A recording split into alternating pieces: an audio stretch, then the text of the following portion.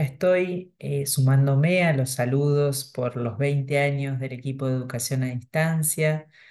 La verdad que como pasa a todos y a todas, es un enorme placer estar acompañando este momento institucional tan importante y en este sentido, creo que hay varias reflexiones para hacer. Me gustaría elegir alguna muy poquita, este, que tiene que ver primero con esto de ser un equipo que está a la altura de una universidad, nuestra Universidad de La Plata, que se caracteriza por su constante innovación, por su búsqueda de, mejores maneras de llevar adelante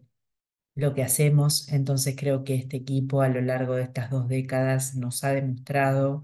que es muy inquieto, que todo el tiempo está pensando, bueno, y a la altura y este, defendiendo de alguna manera los debates que hay sobre estos temas y invitándonos, e invitándonos a las docentes y a los docentes a, a sumarnos. En este sentido, no puedo dejar de reconocer tampoco el rol importantísimo que tuvo este equipo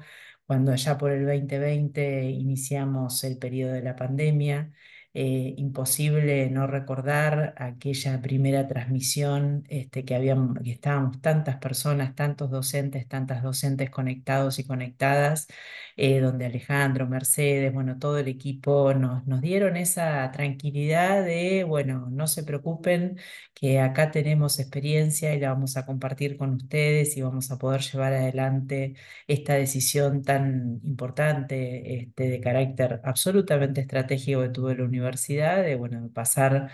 a, a sus aulas híbridas y poder en tiempo récord estar en condiciones de poder sostener.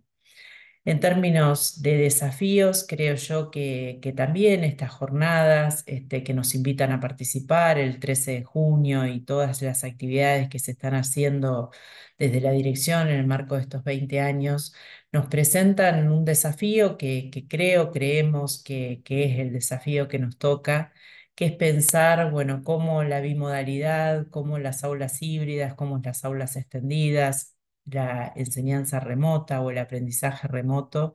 es también una forma de presencia y creemos que es una forma de ampliar derechos. Eh, la verdad que en este sentido creo que hay mucho todavía por debatir, por hacer, este, cuáles son las asignaturas, cuáles son aquellas situaciones en las cuales el cuerpo físico es necesario sostener por, el tipo de práctica este, que necesitamos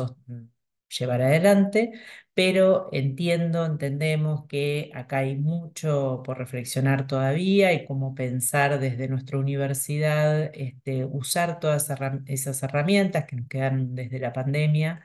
eh, no solo en términos de lo tecnológico, sino también en términos de lo didáctico, en términos de cómo pensar las clases, cómo pensar los espacios de teoría, cómo pensar los espacios de práctica, cómo pensar la gestión, este, y bueno, y también poder entender o, o por lo menos debatir que hay cuestiones que tienen que ver con el uso eficiente de recursos, que tienen que ver con una, un modo de estar